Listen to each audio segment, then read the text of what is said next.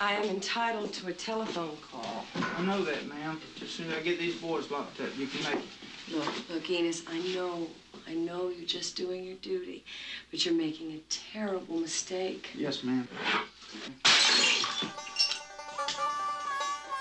Y'all stick around for the barbecue. You hear?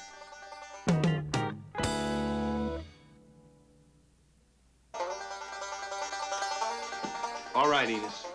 Now, don't either one of you two move, or I'm gonna drop this in there, and we're just gonna have a big Roman candle. Don't drop it, Bo. Well, I'm gonna if either you two move. You wouldn't. Well, sure I would. We ain't going to prison for nobody. Anything you say, Bo. All right, give me your gun, Enos. Well, why, Bo? I Give me your gun, Enos. I wouldn't use this on you. We know you wouldn't use it, Enos, but she might. You put the gun in here with him.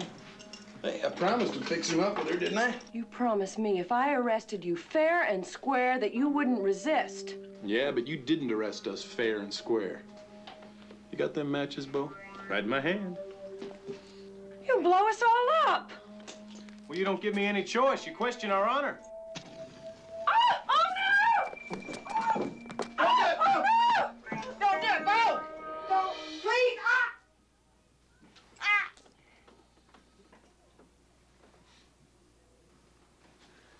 Y'all can come down off that wall now.